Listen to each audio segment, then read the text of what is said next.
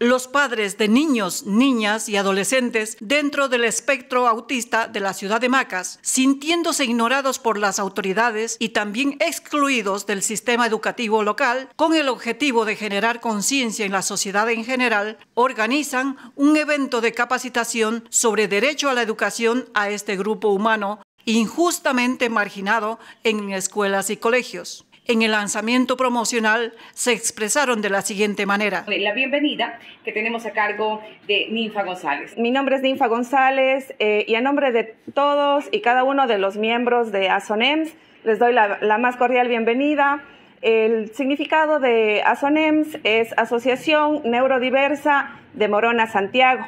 Eh, somos aproximadamente eh, un grupo de 85 familias Em, con niños eh, con diferentes eh, discapacidades o con capacidades especiales, em, como lo son el espectro autista, como lo son em, Asperger's, déficit de, atención, parálisis cerebral, hidrocefalia y muchas más. en este grupo somos una familia que abarcamos eh, todas estas necesidades. Empezamos hace aproximadamente dos meses Em, hemos tenido gran acogida en la provincia en general, tenemos miembros de Macas, de, eh, de Sucúa, de Méndez, y todos están bienvenidos a formar parte de esta, de esta familia. Em, el día de hoy estamos aquí para hacerles la invitación a este evento. Y la intervención de Carlos Amaniego, quien expone la problemática que existe alrededor de este tema a nivel local y provincial. De este evento que hemos preparado nosotros para no solo las familias, sino también para las personas que de cierta manera están vinculadas con nuestros niños, ya que en Morona Santiago cada día se va denotando un poco más que dentro del círculo, de los círculos familiares existe alguna persona con este, con este tipo de trastorno, como es el TEA y otros más que están relacionados. En base a eso nosotros hemos visto la necesidad de irnos organizando, ya que nuestros niños requieren de terapias para ellos poder desenvolverse mejor en la sociedad.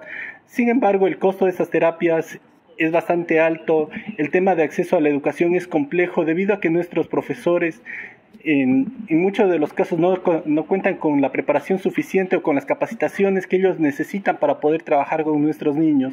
Entonces nosotros queremos brindar un espacio en donde se coge y se les dé estas capacitaciones a los profesores, pero también a los padres de familia para que ellos entiendan que nuestros niños tienen el derecho, ellos tienen que acceder a una educación normal, tienen que asistir a clases y integrarse poco a poco a la sociedad. Lamentablemente en la ciudad en donde nos desenvolvemos el tema de las terapias es bastante alto el costo debido a que no contamos con profesionales uno y dos debido a que en su mayoría los profesionales trabajan en el área privada. Y en el sector público solo tenemos eh, por el momento el apoyo del CEFAS que tiene terapia. Sin embargo, por el gran número de niños que requieren esas terapias, la atención es, eh, realmente es mínima. Entonces, claro, siempre agradecemos a este tipo de instituciones que nos dan el apoyo, pero se requiere un poco más.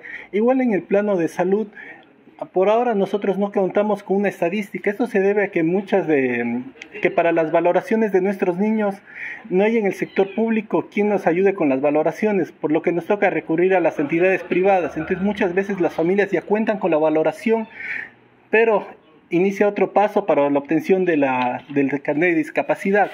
El momento de obtener el carnet de discapacidad, aquí en Morona tampoco existe un profesional que pueda coger y entender esas valoraciones que ellos tienen. Entonces, generalmente tiene que pasar un tiempo para que se logre obtener.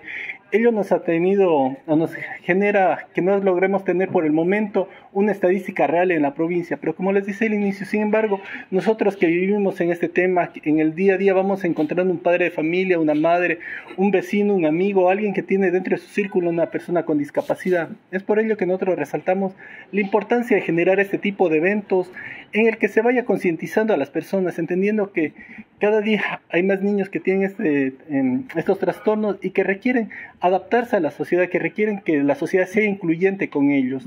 Igual en el tema educativo, necesitamos igual que los profesores sigan capacitándose, porque a veces nos topamos con que los profesores tienen la voluntad de trabajar con nuestros niños, sin embargo en el tema ya del trabajo en sí no entienden cómo ellos o cómo se debe trabajar personalmente con cada uno de los niños y nos pasa tanto en entidades públicas como privadas. Es por ello que nosotros hemos decidido organizar este evento para abrir la puerta a todos. Entienden que es un evento también gratuito y esperamos que tenga acogida. Eh, queremos hacer la cordial invitación a este evento, como ya lo manifestaron, en el Teatro Municipal. Es totalmente gratuito el día jueves 17 de agosto. Eh, el objetivo de esta conferencia que queremos nosotros aportar, eh, nos basamos en les voy a compartir un, bonito pensamiento que dice que el conocimiento es poder. Tómese el tiempo para educar siempre a alguien sobre el autismo. No necesitamos defensores, nosotros necesitamos educadores. Y dentro de los educadores están los maestros y los, los miembros de la familia. Queremos generar el espacio donde se brinden conocimientos de los derechos de nuestros niños, niñas y adolescentes con autismo eh, para que se capaciten en lineamientos generales los maestros para trabajar con los niños en, lo que se refiere a la educación en las escuelas y colegios. Los expositores tenemos como invitado al abogado eh, José Vladimir Andosilla, que es el presidente de la Asociación de Padres y Amigos de Apoyo y la Defensa de los Derechos de las Personas con Autismo, que es APADA en el Ecuador, organización con 10 años de vida, sin fines de lucro y en busca de apoyo mutuo para capacitar y emprender y ayudar a nuestros hijos. También tenemos la intervención de dos eh, eh, personas de aquí de, nuestro, de nuestra zona, que es el magíster José Chacón, que nos va a hablar sobre el tema de muy importante, que es la preparación del ambiente escolar y el reto del inicio del año lectivo, tanto para los padres de familia como para los maestros. Y también tenemos a la magíster Daniela Flores, que el tema que nos va a dar ella es gestión y crisis de manejo de estrés de los niños en las aulas escolares. Eh, como dijimos, el evento es totalmente gratuito y esperamos que todas las personas, todos están totalmente invitados y que nos acompañen en este camino que estamos empezando nosotros como padres. Para mí y para nosotros es un placer eh, poder invitarles y poder haber creado este espacio de información para que de alguna manera nos capacitemos todos, para que de alguna manera también se enteren de nuestro sentir, de nuestro pensar, de nuestra vivencia día a día y que en cada momento necesitamos nosotros tener el respaldo de un profesional para poder guiar a nuestros niños. Por eso nosotros este, a este evento...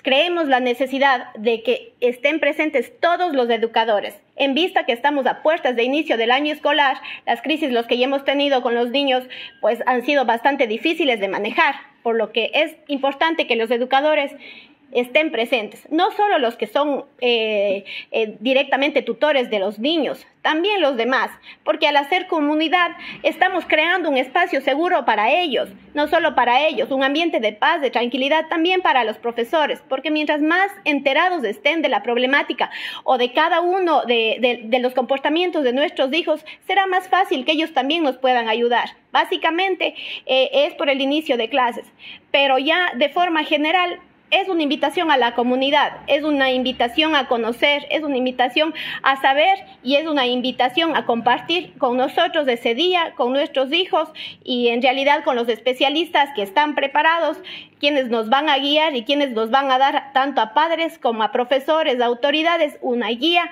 para todo el proceso que, que, empieza, digamos, en, esta etapa. Nosotros ahora recién estamos empezando, pero creemos que hemos dado un paso gigante para poder visibilizar visibilizar nuestras necesidades y también visibilizar, eh, digamos, nuestro agradecimiento hacia todas las personas que nos han abierto sus puertas, tanto autoridades, los mismos padres de familia y los terapeutas y los profesores. Y realmente invitados todos para el día jueves 17 a las 10 de la mañana a compartir con nosotros este importante evento, más que todo de aprendizaje. Sandra Marlene González, Expresa Morona Santiago.